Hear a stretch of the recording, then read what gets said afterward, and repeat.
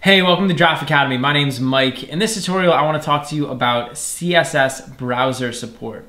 And this is always like a, a, hot topic issue in CSS, which is like which browsers support which CSS tags and which CSS functionality. So there's a bunch of different browsers. I mean, some of the most popular uh, are Internet Explorer, Google Chrome, Safari, Firefox, and Opera. Those are sort of like, uh, you know, the main sort of heavy hitters when it comes to browsers.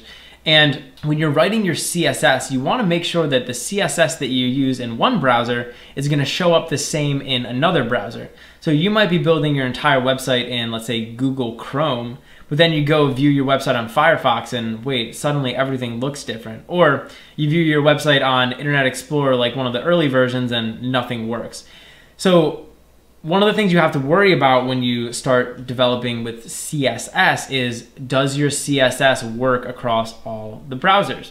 And for the most part, like the basic CSS that you're using is probably gonna be fine. When you start to get into more like fringe CSS, like stuff that's maybe newer or stuff that's not used as much, it may or may not be supported by all the major browsers.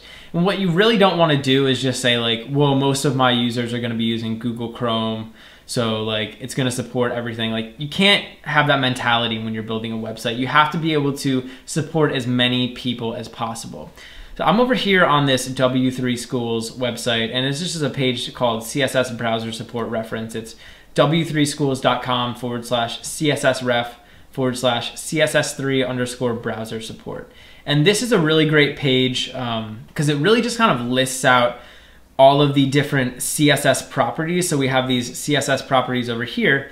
And then over here, we have all of the browsers that support them. So you can see like Safari version 9, Chrome version 21, Firefox version 28. Like it basically will tell you like which versions of which browsers support which tags. And you kind of have to make a decision like, okay, where do I want to like cut off my support?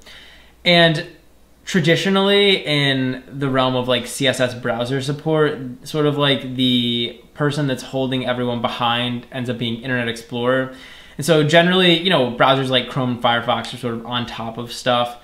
Um, but then like Internet Explorer like is just like such a dog when it comes to supporting these different CSS properties. So you want to make sure that all the properties that you're using are going to display all right across all these different browsers. And you can use this table over here to, you know, sort of inform your decisions. So like I said, most of the common CSS tags, you're going to have no problem getting support. But for other ones, it's going to be a little bit dicier, right? Some browsers might support them, some browsers might not. So, I mean, there's really nothing I can do to like prepare you. I mean, really what you should do is just kind of look through. If you think that one of the tags that you're using might not be able to be supported, you can just kind of look through. So for example, um, one of these like animation tags, sometimes you'll have to add in extra tags. So for example, with this animation delay, we can use this animation tag, but if you want it to be like full on supported by every single browser, you're gonna have to add this extra WebKit animation delay tag.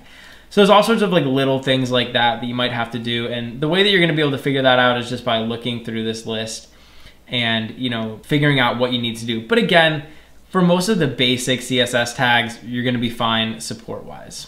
Hey, thanks for watching. If you enjoyed the video, please leave a like and subscribe to Giraffe Academy to be the first to know when we release new content.